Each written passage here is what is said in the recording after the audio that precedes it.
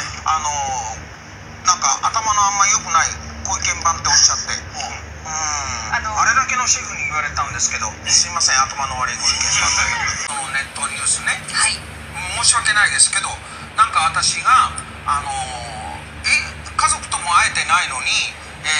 ー、広末さんがこの鳥羽さんの電話番号を鳥羽さんから聞いて文文春春にか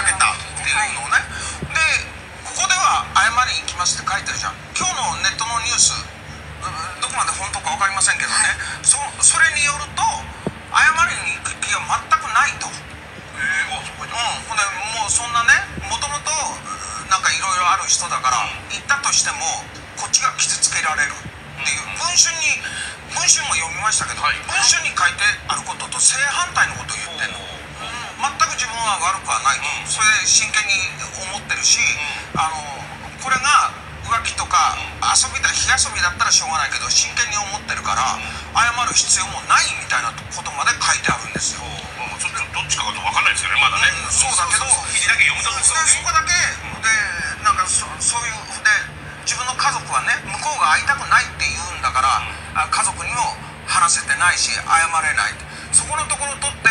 和田子さんってご意見番ってあ頭悪いんじゃないのみたいなどうなってんのかなってどういうことなんですか？私はなんで出すんですか？ここで分かりませんけれども。言ってることがおかしい。文春と全く逆です。うん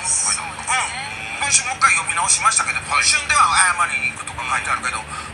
あのキャンドル・ジュンさんのことをもうボロクソですねある意味。ただ